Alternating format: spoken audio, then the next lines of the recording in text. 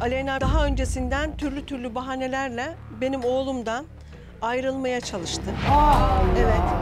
Pandemide ne oldu? Ekonomik kriz oldu. Ekonomik krizde de hanımefendi istedikleri alınmayı alınmazsa ayrılacağım dedi. Ben şu an aşırı sinirlendim. Olmuyor olmuyor.